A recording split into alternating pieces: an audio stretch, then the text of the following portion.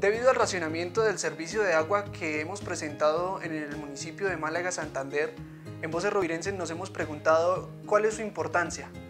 Mi nombre es Nicolás Sandoval y bienvenidos al primer café. Hoy hablaremos de su importancia y cómo debemos tener conciencia, cómo la debemos adquirir. Bienvenidos.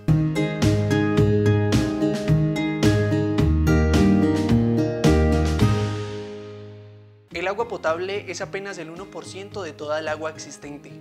El 96% restante es el agua salada que se encuentra en los océanos y el 3% restante es el agua que se encuentra en los polos en forma de hielo. Y aunque parezca que llueve a menudo y disponemos del agua de forma gratuita, es ilimitada.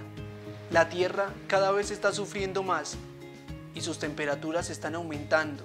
La desertificación va creciendo en zonas donde antes gozaban de ríos y pantanos y la imposibilidad de poder cultivar y regar la tierra se está convirtiendo en la principal problemática de hambre a nivel mundial.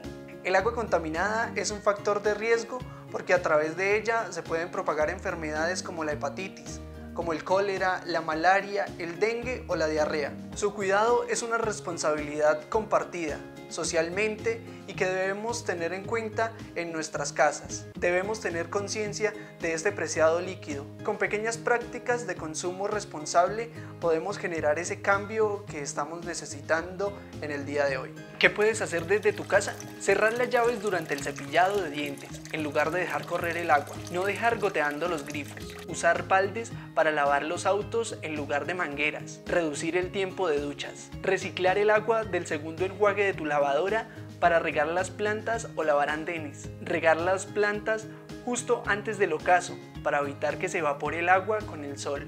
Gracias por acompañarme el día de hoy y disfrutar del primer café.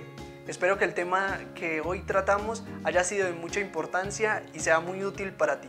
Te invito a visitar www.vocerrovirenses.com y seguirnos en todas nuestras plataformas para estar más enterado de lo que pasa en nuestra región. Mi nombre es Nico Sandoval y los espero en la próxima. Chao.